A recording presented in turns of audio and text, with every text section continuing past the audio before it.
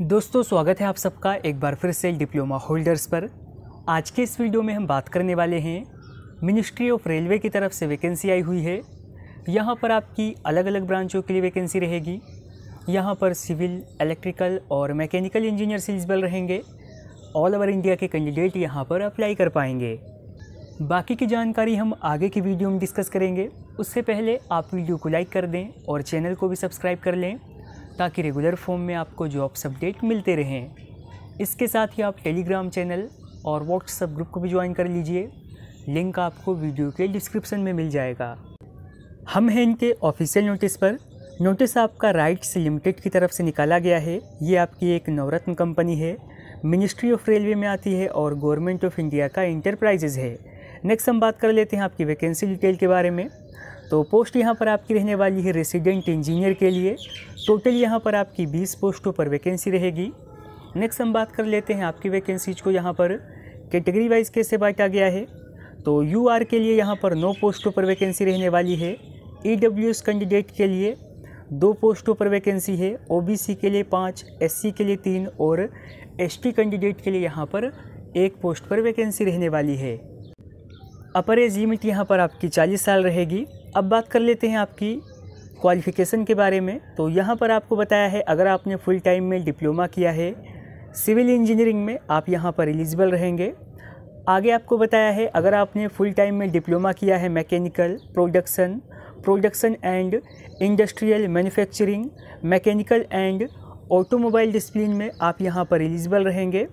आगे आपको बताया है, अगर आपने फुल टाइम में डिप्लोमा किया है इलेक्ट्रिकल या फिर इलेक्ट्रिकल एंड इलेक्ट्रॉनिक इंजीनियरिंग में।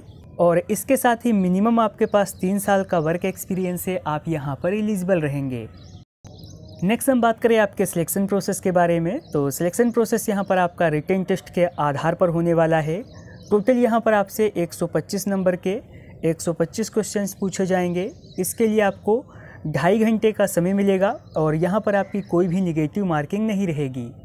जो बेसिकली यहाँ पर आपकी कॉन्ट्रैक्ट बेस पर रहने वाली है इनिशली अपॉइंटमेंट यहाँ पर आपकी एक साल के लिए रहेगी, बाकी से आपकी परफॉर्मेंस और रिक्वायरमेंट के हिसाब से आगे एक्सटेंड किया जाएगा। बात करें आपके पे लेवल के बारे में तो सैलरी यहाँ पर आपको लगभग इकतीस हज़ार रुपये प्रति मंथ मिलने वाली है। एप्लीकेशन फ़ीस के बारे में आपको बताया है, अगर आप जनरल या फिर ओ ओबीसी कैटेगरी में आते हैं तो एप्लीकेशन फ़ीस यहाँ पर आपको छः सौ रुपये देनी है।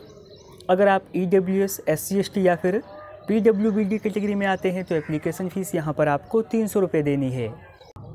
जब आप लोग यहाँ पर अपना एप्लीकेशन फॉर्म फिलअप करोगे तो वहाँ पर आपसे एग्ज़ाम सेंटर्स का प्रेफरेंस पूछा जाएगा। तो जो भी नियरेस्ट लोकेशन है, आपकी यहाँ पर आप लोग उसे यहाँ पर चूज़ कर सकते हैं। इसके साथ ही यहाँ पर आप लोगों को आपका सिलेबस भी दिया गया है। आप लोग यहाँ पर अपना सिलेबस देख सकते हैं। लास्ट हम बात कर लेते हैं आपकी इम्पोर्टेंट डेटों के बारे में। तो फॉर्म ऑनलाइन होने यहाँ पर आपके शुरू हो चुके हैं 20 अप्रैल से। लास्ट डेट यहाँ पर आपकी 30 अप्रैल रहेगी। एडमिट कार्ड यहाँ पर आपका 30 अप्रैल को जारी कर दिया जाएगा और रिटर्न टेस्ट यहाँ पर आपका 5 मई को होने वाला है। अगर आपने डिप्लोमा किया है रिलेवेंट ब्रांच में, मिनिमम आपके पास तीन साल का वर्क एक्सपीरियंस है। आप यहाँ पर अप्लाई कर सकते हैं। अभी के लिए इतना ही, मिलते हैं नेक्स्ट वीडियो में।